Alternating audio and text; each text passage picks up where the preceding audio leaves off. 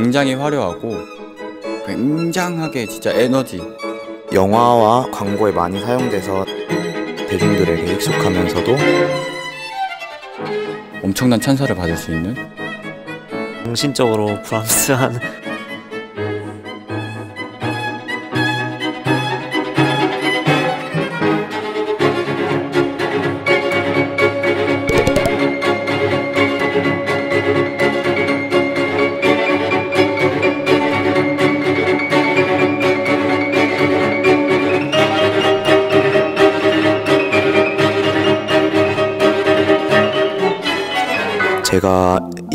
연주할 곡은 슈베르트 피아노 트리오 2번인데요. 이 곡은 슈베르트가 죽기 1년 전 작곡된 곡입니다. 어, 영화와 광고에 많이 사용돼서 상당히 대중들에게 익숙하면서도 음, 아주 구슬프고 슬픈 멜로디가 인상적입니다. 한번 들어보시죠. 아, 아 이거 진짜 너무 어려워. 슈베르트가 이 곡을 통해서 이의 빚을 다 갚았다고 해요. 그래서 멜로디가 상당히 무게감이 있고 이 악장이 상당히 무게가 있고 곡이 무게가 있고 그 상당히 멋있기 때문에 합주하기 멋있기 때문에 제가 추천드립니다. 연주해 보겠습니다.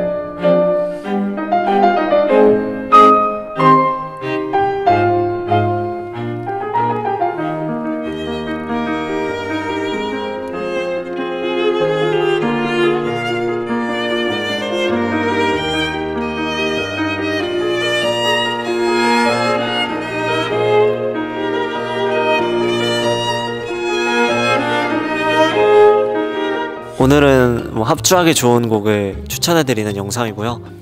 어, 저희가 이번에 들려드릴 곡은 브람스라는 작곡가의 쿼르테 편성의 곡인데 브람스라는 작곡가 이 곡을 작곡할 때 굉장히 정신적으로 브람스한 그런 시기였나 봐요. 지금 제가 약간 이거를 갑자기 시켜서 지- 저도 약간 그렇긴 한데 음, 론도 형식의 집시풍의 곡이고 네, 뭐 하겠습니다.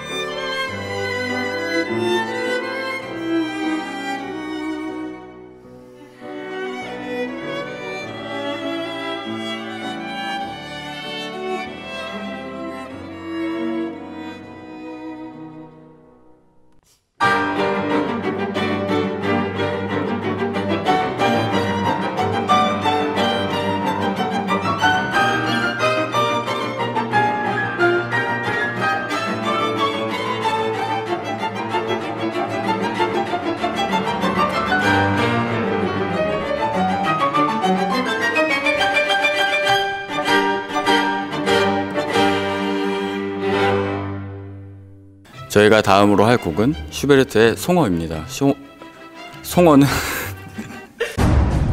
슈베르트 송어입니다. 송어는 피아노 퀸텟 구성이고요. 어, 보통 퀸텟 구성하면은 바이올린 둘, 비올라 하나, 첼로 하나, 플러스 피아노가 들어가는데 이 곡은 특이하게 바이올린 하나, 비올라 하나, 첼로 하나, 베이스가 들어가요. 송어는 어, variation, 변주곡 형태를 가지고 있고요. 어, 피아노와 현악기 각각 솔로가 계속 바뀝니다. 그거를 중점으로 들어주시면 좋고 또 음역대가 제일 낮은 악기인 베이스가 들어가서 훨씬 더 풍부한 사운드를 갖고 있기 때문에 어, 되게 편안하고 풍부하고 웅장한 사운드로 연주를 들으실 수 있으실 것 같습니다. 연주해 보겠습니다.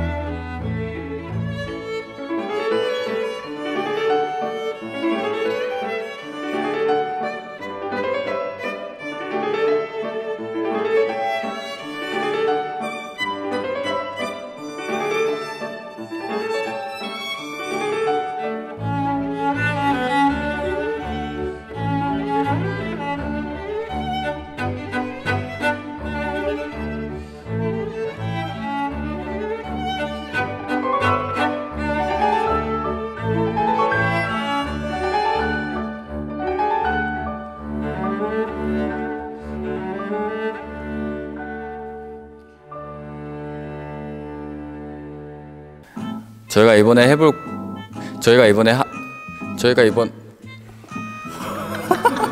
저희가 이번에 할 곡은 저희가 이번에 할 곡은 쇼스타코비치 피아노 퀸텟입니다. 피아노 퀸텟은 이제 구성이 바이올린 두 명, 비올라 하나, 첼로 하나, 플러스 피아노 구성인데요. 쇼스타코비치의 이제 3악장을 할 건데 이 곡은 굉장히 화려하고 굉장하게 진짜 에너지 완전 powerful해서 앵콜곡으로도 많이 쓰이고 잘만 연주한다면 어디서든 진짜 엄청난 찬사를 받을 수 있는 그런 곡입니다. 연주해 보겠습니다.